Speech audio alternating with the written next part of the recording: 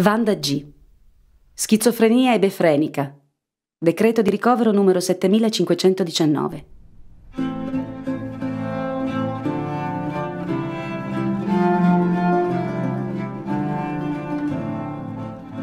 Ventenne, magra, figlia di una prostituta. Non ride quasi mai, ma se ride gesticola e fa smorfie come una bimba.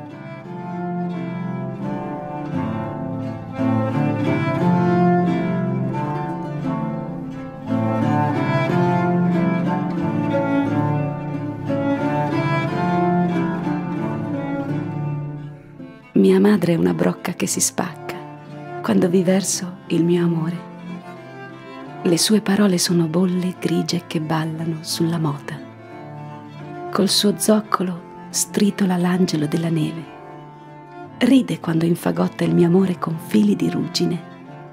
Sulla mia fronte spezzata, aguzzo, gelido, batte il metallo della sua distanza. Come battevano contro le sue ossa una volta che la vidi ballare, collane, pendagli, amuleti.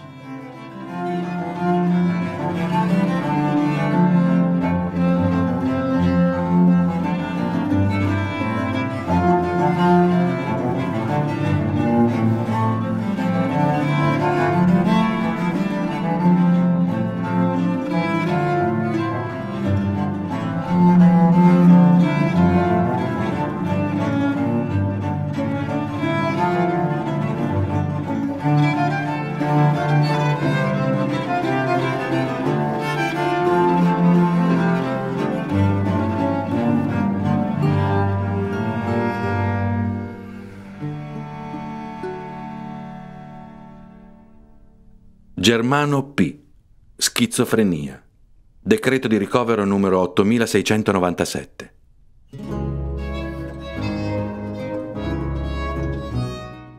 Intellettuale. Non riesce più a leggere senza essere colto da crisi d'ansia. Claustrofobico.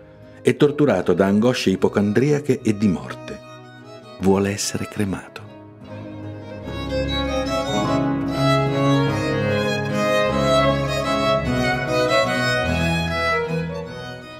Sempre ho chiesto alla parola di vincere la morte, sempre ho coltivato un grumo d'angosce perché saprisse incanto, sempre ho spinto la domanda oltre la montagna senza concedermi mai il pane del bivacco, sempre ho sfiancato il cavallo nella polvere delle risposte. E ora, vivo, morendo, ossessionato dallo scheletro del fossile che occlude al fondo il tunnel del possibile.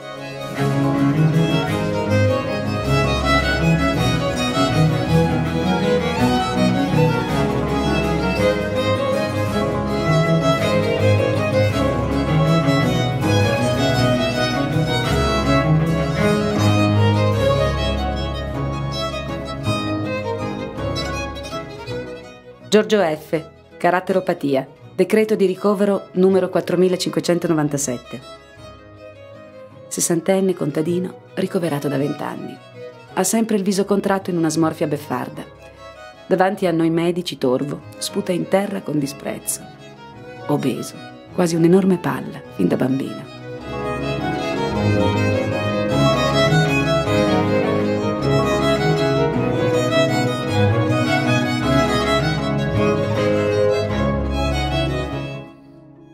I preti Dicono che il dolore eleva e infatti eccolo che dondolo, oscillo, m'elevo, salgo con queste bianche mura verso quel mare di piombo che loro chiamano cielo.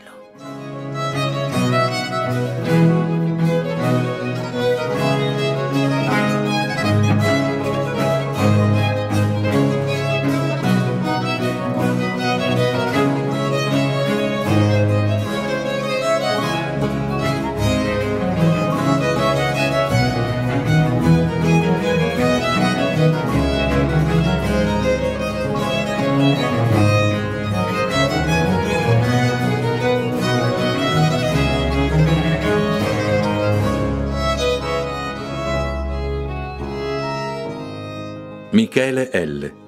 schizofrenia, decreto di ricovero numero 2415. Allucinato, nei suoi monologhi ancora parla al padre fucilato nel 1944.